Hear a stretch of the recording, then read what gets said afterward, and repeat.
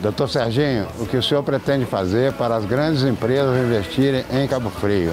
Para que a gente insira o polo industrial Cabo Frio, a gente precisa estabelecer o regime tributário diferenciado, em que novas indústrias aqui se instalem pagando um imposto diferenciado.